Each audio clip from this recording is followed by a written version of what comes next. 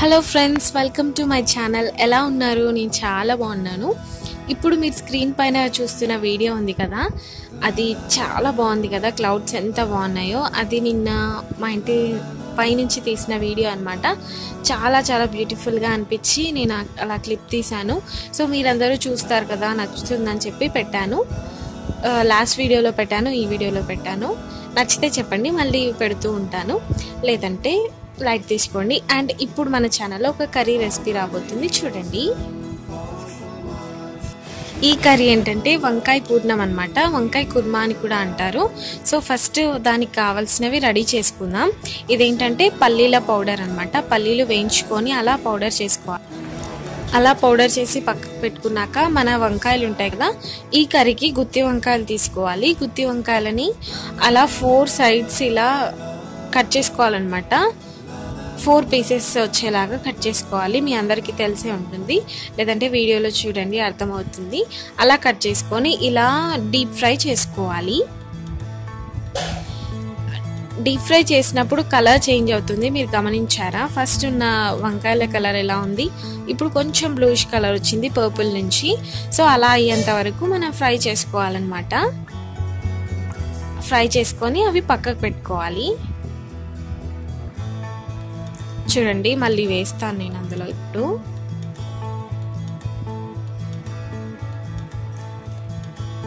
ఖచ్చితంగా వంకాయలు అంత క- అంత ఆ కలర్ రావాలండి లేదంటే ఉడకవన్నమాట. మనం కర్రీలో వేసుకున్నప్పుడు గట్టిగా అనిపిస్తాయి.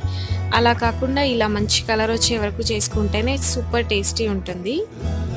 సో ఇలా అన్నమాట.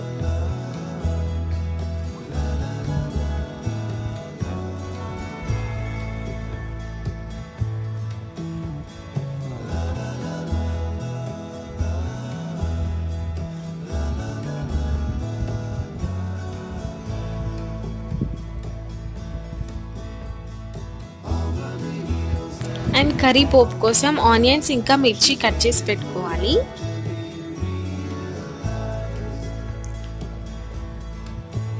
అండ్ ఇక్కడ చింతపండుని స్క్వీజ్ చేసి వాటర్ పెట్టుకోవాలన్నమాట. చింతపండు నానబెట్టుకున్నాక వాటర్ తీసుకుంటాం కదా వాటి నుంచి అదనమాట చింతపండు రసం. ఆ తర్వాత చూడండి నేను వేసిన నెక్స్ట్ రౌండ్ కూడా కింద మొత్తం కలర్ మారిపోయింది. ఇప్పుడు వాటిని ఫ్లిప్ చేసుకోవాలి. అండ్ ఇక్కడ మనం పల్లీల పౌడర్ పట్టుకున్నాం కదా అందులో కొన్ని వాటర్ వేసుకొని ఇలా మంచి క్రీమీ టెక్స్చర్ వచ్చే వరకు చేసుకోవాలన్నమాట. మరీ పల్చగా చేయొద్దు ఎందుకంటే వీటిని మనం చింతపండు రసంలో కలుపుతాం. ఆ తర్వాత మనకి ఎండు కొబ్బరి ఉంటుంది కదా దాన్ని అలా చిన్న ముక్కలుగా చేసుకొని గ్రైండ్ చేసుకోవాలి. అంటే ఎండు కొబ్బరి తురుము వేసుకోవాలి. అండ్ పల్లీలది అది ఉంది కదా క్రీమీ టెక్స్చర్ చేసుకున్నాం కదా దాన్ని చింతపండు రసంలో మనం మిక్స్ చేసుకోవాలి. అప్పుడు మంచి చిక్కటి గ్రేవీ వస్తుంది అనమాట చింతపండు రసం ఓన్లీ అయితే పల్చగా ఉంటుంది కదా. సో అండ్ నెక్స్ట్ ఇప్పుడు యాడ్ చేసింది ఏంటంటే ఎండు కొబ్బరి పౌడర్.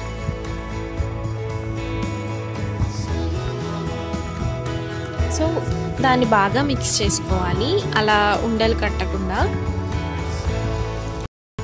మీరు వంకాయ పూర్ణం ఎప్పుడైనా చేశారా?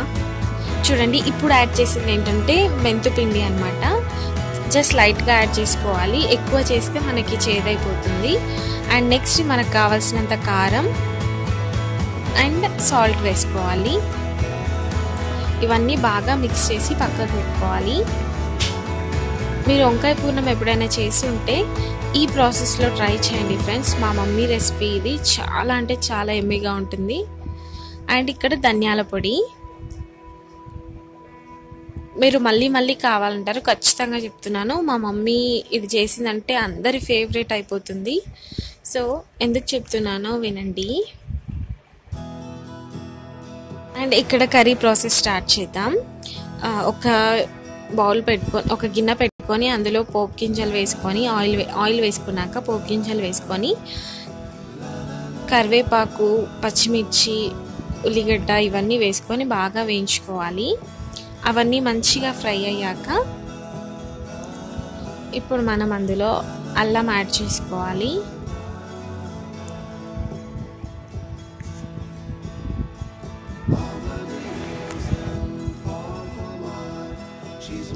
సో అల్లం యాడ్ చేసుకొని అల్లం పచ్చివాసన పోయే వరకు బాగా కలుపుకోవాలి.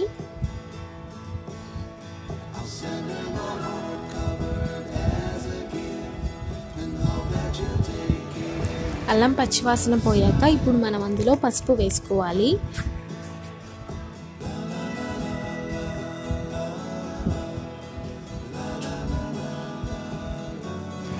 ఇప్పుడు మనం పసుపు వేసి బాగా కలుపుకున్నాక ఆల్రెడీ మనం రెడీ చేసుకున్నది ఉంది కదా ఆ గ్రేవీ మ్యాటర్.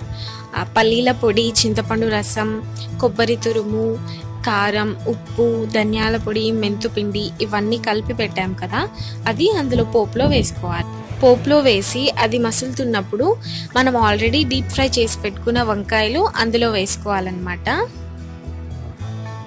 సో ఇప్పుడు అదంతా బాగా మసులుతుంది మసిలి చిక్కటి టెక్స్చర్ వచ్చేసి మంచిగా ఆయిల్ పైన తేలుతుంది అనమాట అప్పుడు మన కర్రీ రెడీ అయిపోతుంది.